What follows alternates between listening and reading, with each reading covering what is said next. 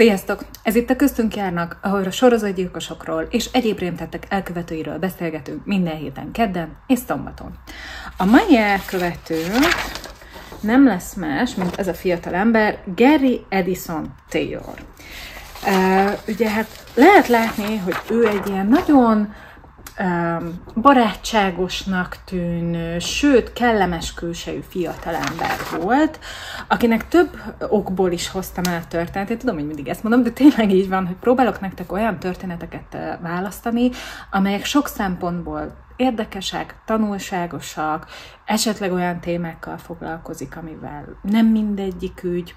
Amit uh, tudni kell, hogy ő főleg a 60-as, 70-es években tevékenykedett, és hogy nagyon-nagyon sok uh, áldozat úgy szerepel, mint ismeretlen nő, tehát hogy nem jegyezték fel az ő nevüket vagy életkorukat, ezért nagyon sok helyen nem fogom tudni nektek elmondani, hogy ki is az. Nagyon sok nő nem tett feljelentést, mert akkoriban a 60-as, 70-es években, sőt előtte is, és nagyon sokáig még utána is, az a felfogás volt, hogyha veled nőként bármi ilyesmi történt, az a te hibád. Mert nem vigyáztál eléggé, mert biztos úgy voltál felöltözve, mert biztos felhívtad magadra a figyelmet. Tehát ugye a 60-as, 70-es évekből vannak ilyen feljegyzések, rendőri feljegyzések, hogy XY nőt megtámadták, de piros rúzs volt rajta, nem csodálkozunk. Tehát, hogy amikor ilyen narratíva van a társadalomban, akkor nyilván az emberek kedve, hát hogy is mondjam, enyhén elmegy attól, hogy bejelentéseket tegyem. Nem tudom, hogy tudjátok, de például Olaszországban rengeteg ideig eh, nem jelentettek szexuális erőszakot be. Évtizedek vannak, amikor úgy tűnik, mintha Olaszországban nem ilyen erőszak soha nem is történt volna, mert hogy akkoriban az volt a szokásjog, hogy ha téged megerőszakolt egy férfi, akkor ahhoz hozzá kellett menned feleségül. És hát melyik nő volt az a hülye, aki bejelentette, hogy igen, engem ő megerőszakolt, hogy aztán még feleségül is kelljen menni hozzá, szóval, hogy ez nagyon sok társadalomban és nagyon sok országban ez így volt, hogy, hogy egyszerűen nők arra lettek kondicionálva, hogy ne jelentsék be az őket ért támadásokat, erőszakokat. Ez kicsit ma is így van Magyarországon, nagyon sokszor hallottuk, hogy majd akkor szóljon, hogyha vér folyt. Ez a mondat, ez végigkísérte a 90-es éveket és a 2000-es évek elejét, sőt szerintem még a 2010-es éveket is. Nagyon lassan érezhető változás, nagyon lassan haladunk afelé, hogy hogy komolyan vegyenek csak fenyegetőseket, csak csak már ráutaló magatartásokat, vagy kisebb bántalmazásokat, és nyilván most így csináltam, és nem véletlenül, mert hogy azért a bántalmazás az a mértéke az nem függ attól, hogy neked ez mennyire traumatikus. Nyilván vannak fokozatok, de hogy alapvetően egy utcán alágynyúlást is meg tudsz élni nagyon traumatikusan, nem kell, hogy nem erőszak is történjen. Na de, szóval, hogy ez sajnos ez, ez a társadalomban nagyon sokszor így volt, nagyon sokáig így volt és van. Úgyhogy ezért az ő áldozati mennyisége most ezt nagyon nem magyarul mondtam, de mindegy, értitek, nem tudjuk, hogy pontosan hol áll meg a szám. Azt tudjuk, hogy bizonyítottan négy nőt tölt meg, mert hát nyilván nők az áldozatok, nyilván nagyon erős kisfiúk mindig olyan áldozatokat választanak, akik gyengébbek, nem mindegy. Szóval um, és hát összes többi támadásról, meg összesen azt hiszem ilyen 25-ről van feljegyzés, de azok is mondom legtöbbje olyan, hogy hát névtelen, nem tudni. De, de vágjunk is bele az ő élet történetébe. Ő egy nagyon-nagyon jó módú családba uh, születik, egyetlen egy bátyja van, és a pontos születési dátumát nem tudom nektek megmondani, 1936-ban született, de hogy melyik hónap, melyik napján, azt nagyon nem nem lehet tudni. A szüleinek boltja volt, és egy elég nagy boltja, amiből ők nagyon jól éltek, és egyébként Michigan környékén laktak, és aztán valamilyen oknál fogva, amit nem tudunk, hogy milyen oknál fogva, de elköltöznek Floridába. És ekkor kezdődnek meg az ő támadásai nőkkel szemben. Ez 54-et írunk ekkor, tehát nincs 20 éves, amikor elkezdi ezeket a támadásokat. Ami nagyon érdekes, hogy hogy kezdi, hát úgy kezdi, hogy buszpálya udvarokon úgy csinál, mintha ő is buszra várna, és van nála egy kalapács, ami így el van rejtve így a kabátjába, meg ilyenekbe, és hogyha lát egy megfelelő női áldozatot, akkor avval a kalapáccsal elkezdi őket ütlegelni.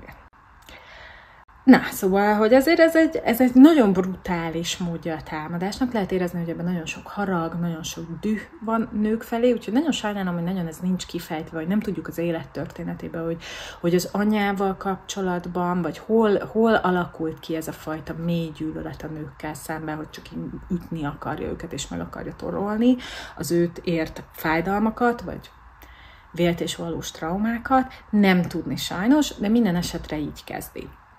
Ez nem tart olyan sokáig, 54-be kezdi egyébként ezt el, és nem tart olyan sokáig, mert hogy utána elkapják őt, és beviszik a fiatalkorúak javító intézetébe. 57-be ki is szabadul, tehát nem tölt bent sok időt, és akkor ő visszaköltözik Michiganbe. Az ő sztoria meglehetősen hiányos. Tudom, Tudom, csajok, de maradjatok velem, és fiúk, tudom, de az a helyzet, hogy, hogy tényleg sajnos ennyi információ van fenn, de ennek ellenére én azt gondolom, hogy, hogy mégis érdekes az ő története. Egyébként ott elkezd műszerezként dolgozni, nagyon feljegyzés nincs arról, hogy ő okos lenne, vagy, vagy nem annyira lenne okos, hogy ő jól teljesítene az iskolában, vagy nem jól teljesítene, hogy ezeket nem mindig ugyanaz. Um, erről nagyon nincs feljegyzés, csak az, hogy akkor műszerészként fog elkezdeni dolgozni. Azt tudjuk, hogy 1960-ban ő nem csak, hogy kirabol egy nőt, meg is erőszakolja, tehát őt már nem ilyen erőszak is bejön a képbe, hanem utána random embereket éjszaka, nem nőket, kimondottan csak nőket, összesen kettőt fog lelőni, vagy legalábbis megsebesíteni. Egyikük se fog meghalni, csak hogy megy az utcán, éjszaka, meglát egy nőt, és rálő. Nem tudjuk a nők nevét, és ezekért a bűncselekményekért nem kapott egyébként büntetést.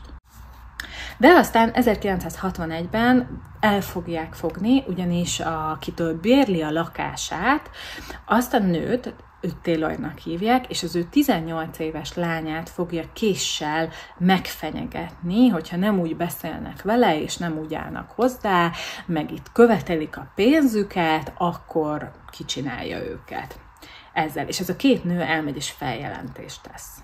És ekkor őt megvizsgálják, és megállapítják, hogy ő nem beszámítható, hogy, hogy értelmileg hát ez, vannak problémái, vagy pontosabban mentálisan vannak nehézségei. Sajnos ezt se találtam meg sehol, hogy mit találtak nála, hogy skizofrén, hogy, hogy mi volt az, amivel végül, de őt egy elmegyógyintézetbe bezárják. Aztán utána átszállítják egy másik intézetbe, Detroitba, de összesen három évet fog elmegyógyintézetbe tölteni, amikor is utána kiengedik. Hogy miért engedik ki, ez számomra mindig egy olyan pont, hogy, hogy ezért akarom tudni, hogy mi a diagnózis. Mert hogyha egy olyan diagnózis van, ami nem múlik el, akkor talán nem kéne kiengedni.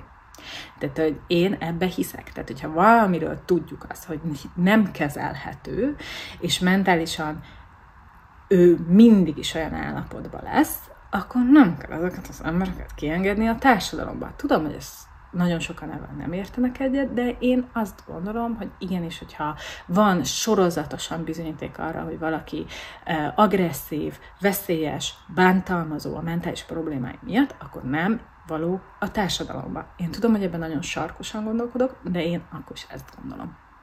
Na és úgy engedik ki, hogy ő járjon vissza a gyógyszerezése miatt, tehát hogy igazándiból kint lehet, meg dolgozhat, meg élheti az életét, de hogy azért jöjjön vissza, hogy mindig a gyógyszereket ő megkapja. Hát el tudjátok képzelni, hogy ezt mennyire tartja be, semennyire. És aztán elköltözik, 72-ben elvesz egy Taylor nevezetű nőt, a házasságuk egyáltalán nem tart sokáig, tehát hogy kb. egy éven belül elválnak, nem születik gyermekük sem. Utána elköltözik Houstonba, aztán, szóval, hogy nagyon sokat költözik egyébként, és tudjátok, hogy az akkoriban is, meg azért most is egyébként az amerikai Egyesült Államokban, ez nehézséget jelent, mert hogy az államok külön regi, regiszterrel, mindjárt kitalálom a magyar nevét, szóval külön adatbázissal rendelkeznek, és ezért na, ne, nagyon sokáig nem is cseréltek ugye információt, nagyon sokáig ez papír alapon ment, nem is számítógéppel. Tehát, hogy megvoltak a kihívások annak, hogyha valaki államokat vált, hogy akkor sokkal nehezebben érte utol őket a rendőrség. Na és hát ő Houstonba két dolgot követel, amire biztosan, amiről biztosan tudjuk, hogy ő volt. Az egyik az, hogy megerőszakolt egy 16 éves terhes lányt. Igen, a másik pedig, hogy megölt egy gogó táncos lányt. Ezt a kettőt biztosan tudjuk, hogy ő Houstonban elkövette.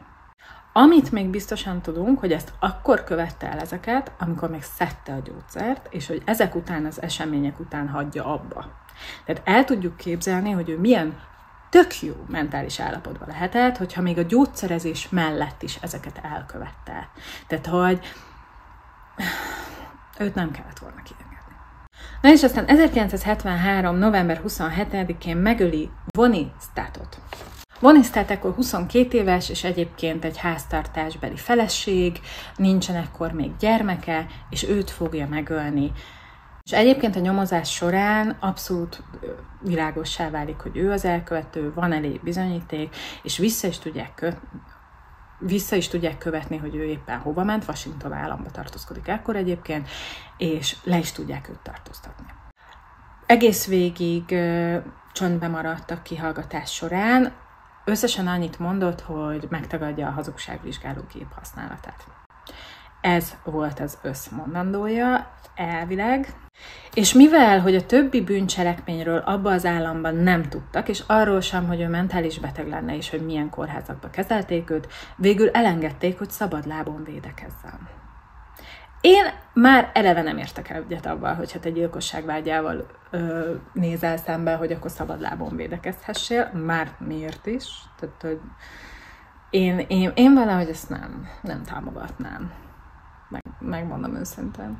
És hát mit csinált, mint amit a legtöbb ember csinálna?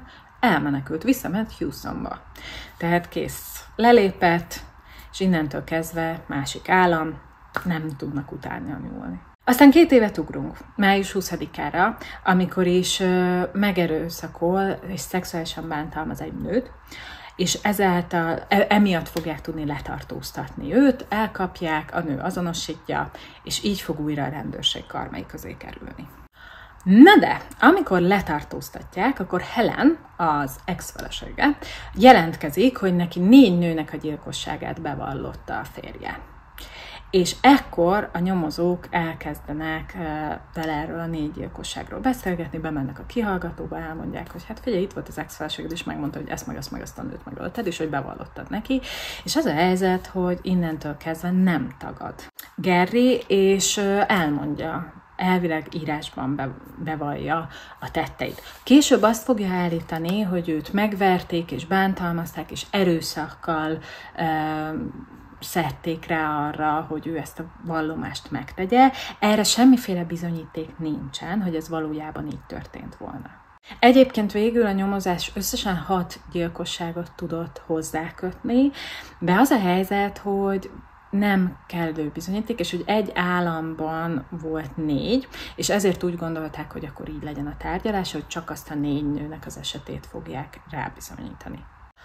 Viszont aztán a későbbi nyomozások, mert hogy utólag újabb nyomozást indítottak, viszont már 20 fölötti áldozat számról beszéltek, hogy valószínűleg több mint 20 nőt ölt meg egész élete során. Aztán ezért a négy gyilkosságért életfogytiglani börtönbüntetésre ítélték a szabadulás lehetősége nélkül, ami nagyon érdekes, hogy nem börtönkórházba került ő, tehát hogy, hogy aztán miért nem foglalkoztak a mentális betegségével, azt nem tudni, de ő végül rendes börtönbe került, ahol mai napig él. Hát és már bácsi, már nagypapakorú bácsi, de hogy ő még él jelen pillanatban is. Szóval ami nagyon érdekes az ő életé, történetében, hogy 54 és 75 között ö, tudott ő garázdálkodni, a letartóztatása ugye a 75-ben történt, tehát nagyon-nagyon-nagyon hosszú ideig tudott ő félelembe és rettegésbe tartani nőket. Több mint 20 nőt megölt ezen idő alatt, rengeteget szexuálisan bántalmazott, rengeteget fizikálisan bántalmazott, tehát hogy ugye kezdte ezzel a kalapácsos dologgal, és nagyon-nagyon sokáig ő rengeteg nőt bántalmazott, és hogy milyen hosszú idő kellett ahhoz, hogy őt végre valahára elkapják. Hogy végre valahára ő foglalkozzanak. Tehát én ezért is tartottam nagyon fontosnak az ő történetét megmutatni nektek, hogy nagyon sokszor a rendszerek támogatták azt, hogy ezek a férfiak meg tudták úszni a büntetteiket. És hogy az, hogy a nő elleni, nők elleni gyűlölet, az nagyon sokszor törvények formájában jelenik meg. És az olyan törvények, amelyek nem szankcionálják kellőképpen, akár a gyermekek elleni, akár a nők elleni szexuális bántalmazást, azok támogatják azt. Lehet azt hinni, hogy nem, de igen, a kérdés az, hogy kinek és miért áll érdekébe olyan törvényeket hozni, ami nem erőteljesen bánta, erőteljesen bünteti ezen bűncselekmények elkövetését. Remélem érdekesnek találtátok ezt az esetet. Vigyázzatok nagyon magatokra, legyen szép napotok. Sziasztok!